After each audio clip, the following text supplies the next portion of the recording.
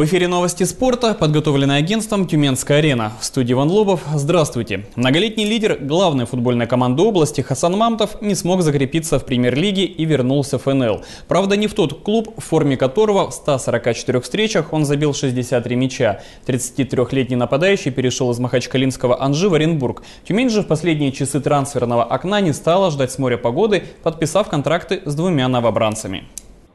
В стан черно-белых перебрался игрок атаки Никита Соломатов. Ему 23 года, рост 172 сантиметра. Профессиональную карьеру начинал в системе московского «Локомотива». После играл в «Химках», «Подольском Витязе», а затем попал в систему «Зенита». Первую часть прошлого сезона Никита провел за фаром клуб питерцев, дважды сыграв против Тюмени в первенстве ФНЛ. Команда находится в первой лиге ФНЛ. Вот. Условия отличные, как бы. Вот, поэтому все есть для того, чтобы расти и двигаться дальше. Тем более сейчас команда находится точно на своем месте, как я считаю. Вот, и сейчас, думаю, в ближайших играх будем стараться подниматься выше и выше. Новичок черно-белых вызывался в молодежную сборную России и сумел отличиться на Кубке Содружества. Команду возглавил Владимир Маминов. Вот, э, пригласил в команду. Мы с ним как бы знакомы еще по работе э, в дубле «Локомотива», в «Химках» мы с ним работали. Вот, поэтому как бы сразу согласился, даже не раздумывал. Знаю, это специалист очень хорошо.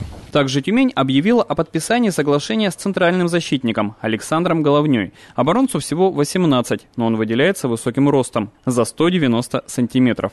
Конечно, это шаг вперед для меня из ПФЛ, ФНЛ. Надеюсь, у меня все получится. Буду прибавлять, работать. Футбол начал заниматься, еще шести не было. Понял, мама первый раз меня отвела на хоккей там тренировались старшие ребята. Но они так сильно били по борту, что я так немного испугался. Вот, и на следующий день повела меня на футбол, и все так. И получилось. Душа легла так, как у всех. Продолжение темы. В Москве состоялась жеребьевка 1-16 финала Кубка России по футболу. Борьбу за трофей продолжает ФК «Тюмень». Очередным соперником сибиряков станет Тосна из Ленинградской области, в прошлом сезоне вышедший в премьер-лигу. Прошлом сезоне черно-белые уступили этому клубу дома 1-2, а на выезде могли взять реванш, но упустили победу 2-2. Соперник черно-белых – серьезный кубковый боец. Тосна в своей истории дважды доходила до четвертьфинала, останавливая на своем пути московский «Спартак» и «Динамо».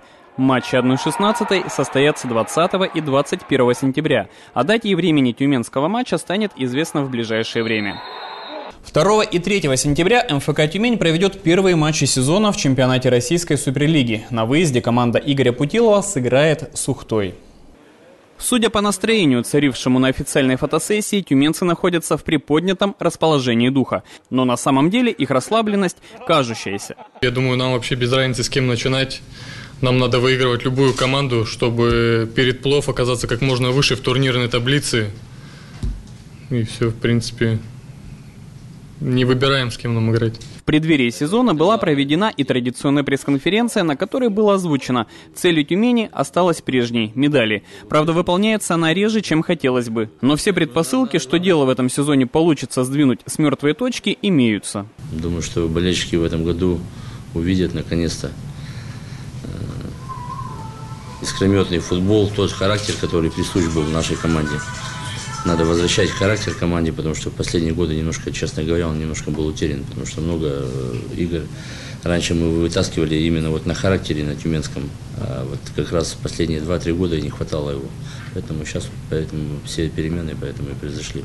Из последних новостей можно отметить появление в команде опытного Артура Цыбы. За вратарскую линию теперь опасаться точно не стоит, особенно если учесть, что зимой после дисквалификации вернется Сергей Логинов. Живая конкуренция, то есть которая она есть, и Цыба он ее даст эту конкуренцию, она никому не мешала. И то, чтобы ребята себя комфортно не чувствовали, тоже Аксентьевич и Саша Александров. Саша молодец, хорошо отыграл турнир.